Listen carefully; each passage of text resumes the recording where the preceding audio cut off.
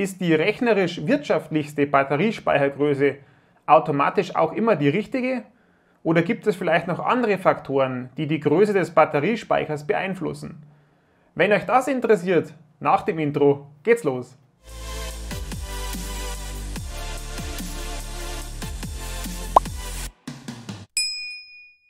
Ja, Servus aus meinem Bastelkeller. Heute geht es ums Thema Batteriespeicher. Wie groß muss ein Batteriespeicher sein und warum bin ich da vielleicht anderer Meinung wie so mancher Wirtschaftskanal? Ja, ich muss jetzt ganz kurz ein bisschen ausholen. Äh, das Thema Wirtschaftlichkeit bei so Batteriespeichern ist ein sehr, sehr heikles Thema und es nervt mich von Tag zu Tag mehr. Das muss ich an der Stelle mal erstmal loswerden. Warum nervt mich das? Ja, in sämtlichen Wirtschaftskanälen, die es überall so gibt, ja, wird immer nur eine, ein Batteriespeicher ausgerechnet. Ja, die einen machen das, äh, wenn ich jetzt 10 Kilowatt Peak auf dem Dach habe, brauche ich einen 10 Kilowatt, äh, Kilowattstunden Batteriespeicher. Manche sagen dann irgendwo 50 Prozent von der PV-Anlage. Manche sagen, ich muss den Nachtverbrauch messen, um das Ganze wirtschaftlich zu machen. Ja, und alles hat irgendwo so seine Berechtigung. Ja. Alles ist grundsätzlich nicht so ganz richtig und aber auch nicht so richtig falsch. Ähm, ganz, ganz böse ist immer, wenn der Batteriespeicher zu groß ist. Ja, gerade Wirtschaftskanäle sagen, ah, bau dir bloß keinen zu großen Speicher ein, das ist alles Blödsinn, das ist Verschwendung von Geld und was weiß ich noch alles. Ich sehe das anders, ja, und ihr erfahrt heute, warum das so ist. Hat alles irgendwo einen technischen Hintergrund. Fangen wir mal ein bisschen an. Ja? Was ist das Problem bei einem zu kleinen Batteriespeicher? Ja? Also ich habe jetzt da so vier Gründe, die ich da irgendwo gefunden habe. Ja? Und einer der Gründe ist zum Beispiel die Zyklenzahl bzw. die Lebensdauer von so einem Akku. Ja? Warum ist das ein Problem? Ja, jetzt gehen wir mal davon aus, ich habe eine relativ große Photovoltaikanlage, bin aber recht sparsam. Ja? Das heißt, ich habe jetzt irgendwo so 10 bis 15 Kilowatt Peak auf dem Dach vielleicht. Ja? bin aber relativ sparsam, habe kein E-Auto, keine Wärmepumpe, keine Brauchwasserwärmepumpe. Ja, und dann reichen mir theoretisch so 3 bis 5 Kilowattstunden als Batteriespeicher, um die Nacht zu überbrücken. Alles schön und recht. Ja. Zum Beispiel auch mein Schwiegervater hat sowas. Alles gut, alles funktioniert erstmal soweit. Wo ist da jetzt das Problem? Ja, das Problem ist jetzt folgendermaßen, Leute, und das vergessen viele. Ein äh, Batteriespeicher hat eben nur eine begrenzte Zyklenzahl. Ja? Auch wenn manche sagen, ja, da habe ich eine Garantie drauf. Schön und recht, aber die Garantie hält bestimmt nicht 10 bis 15 Jahre und wenn, dann muss man halt auch meistens mehr zahlen. Ja?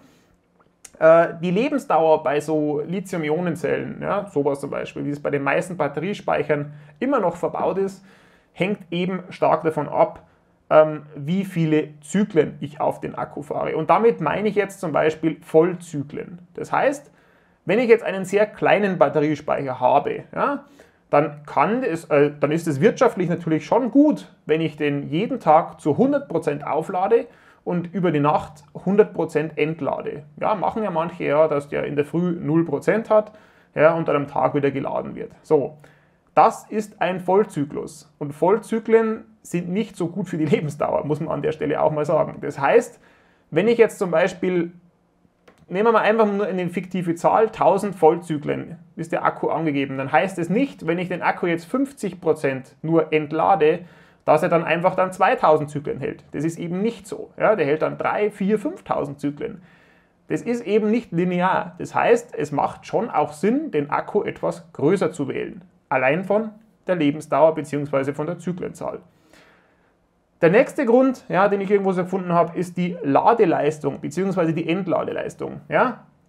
Gehen wir mal davon aus, wie ich vorher gesagt habe, man hat eine relativ große Photovoltaikanlage, ist recht sparsam. Ja. Jetzt hat man gerade in den Übergangszeiten, ja, so sage ich mal September, Oktober, ja, rum, ja, über Winter auch von mir aus, hat man öfter mal so ein, zwei Stunden Sonne am Tag, vielleicht auch mal drei Stunden. Dann ist das schon ein, eine recht hohe Belastung für so einen Akku wenn der natürlich in diesen zwei Stunden natürlich logischerweise auch voll werden soll. Ja, ich will ja das Maximale rausholen. Das nächste ist aber das, diese kleinen Akkus haben meistens nicht so die hohe Ladeleistung. Das heißt, den Akku bekomme ich in diesen ein, zwei Stunden nicht voll. Und wenn, dann geht es wieder auf die Lebensdauer. Das heißt, nehme ich jetzt einen Akku, der etwas größer ist, ja, dann kann ich den mit einer größeren Leistung beladen ja, natürlich bringe ich dann auch nicht mehr in Akku rein, aber dem Akku schadet das weniger. Ja? Darf man nicht vergessen an der Stelle. So, was haben wir noch? Ja, auch ein weiterer Punkt ist der Wirkungsgrad bzw. die thermische Belastung von den Zellen. Ja, sieht man jetzt hier schon, das ist ein, so ein kleiner Akku aus dem Modellbau. Ist nichts anderes, wie zum Beispiel in so einem, ja, so einem Hausspeicher irgendwo drin ist. Diese Zellen werden beim Laden warm oder können warm werden, je nachdem, wie stark ich sie belaste. Und jeder, der ein bisschen in Physik aufgepasst hat, weiß, ja, wenn was warm wird, habe ich Verlust. Ja, natürlich haben die Akkus Lüfter drin, die werden auch gekühlt, ja, aber ich habe einen Verlust. Das heißt, lade ich so einen Akku langsam, ja, habe ich einen besseren Ladewirkungsgrad. Darf man nicht vergessen. Und darum braucht man sich auch nicht wundern, wenn manche halt extrem schlechte Wirkungsgrade bei solchen Akkus haben. Ja, habe ich zum Beispiel bei meinem Akku nicht. Das heißt, erstens mal habe ich den Akku eine oder belaste ich den Akku deutlich mehr durch die, durch die Hitze. Das ist nicht gut für den Akku. Und natürlich sinkt auch der, der Wirkungsgrad von dem ganzen Ding. So, dann der letzte Punkt, der auch noch für einen größeren Akku spricht, ist die Zukunft. Ja, man glaubt es kaum, aber die Technik schreitet voran ja, und in Zukunft werden einfach mehr äh, PV-Anlagen irgendwo in Deutschland sein, ebenso auch mehr Windkraftwerke zum Beispiel. Ja. Das heißt, so Sachen wie Tipper, das jetzt langsam erst kommt, wird, davon bin ich überzeugt, in Zukunft eine entscheidende, ja, eine entscheidende Rolle spielen. Da bin ich mir ziemlich sicher.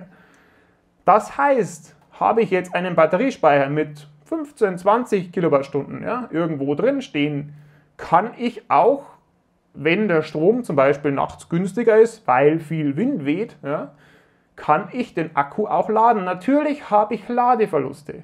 Ja, das ist richtig. Natürlich habe ich Ladeverluste. Aber trotzdem ist der Strom immer noch günstiger, als würde ich den Strom einfach so einkaufen. Ja. Das wird mit ziemlicher Sicherheit in Zukunft auch kommen. So, wie gesagt, das sind jetzt meine Gründe. Wenn euch noch was einfällt, schreibt es gerne in die Kommentare, weil ich vergesse auch immer viele Sachen, muss ich ehrlich sagen. Aber ich hasse so Diskussionen, wenn man sagt, okay, ich nehme einen Batteriespeicher aus wirtschaftlichen Gründen so und so groß. Es sind schon so viele Akkus kaputt gegangen, ja, und auch Akkus oder Batteriespeicher, die eben überlastet werden, ja. Alles, was warm wird, ist grundsätzlich einfach scheiße, muss man an der Stelle mal sagen, ja. Und wenn ich dann höre, irgendwelche Leute mit 20 Kilowatt Peak und dann haben sie so einen, so einen 3 bis 5 äh, Kilowattstunden Batteriespeicher, der wird jeden Tag geknechtet. Ja. Da schaltet man Ofen irgendwo ein, wird der leer gezogen, wenn irgendwo eine, eine Wolke irgendwo kommt und eine halbe Stunde später ist die Wolke vorbei und der Akku wird wieder vollgeknallt. Das ist nicht gut für die Zellen, definitiv nicht. Also es, was ich damit jetzt sagen will, es ist nicht immer die wirtschaftliche Seite die beste. An das muss man auch denken an der Stelle. Wie gesagt, war jetzt ein schnelles Video. Ja, wenn euch noch was dazu einfällt, schreibt es gerne in die Kommentare. Und dann würde ich sagen, sieht man sich wieder im nächsten Video. Macht es gut. Ciao, ciao.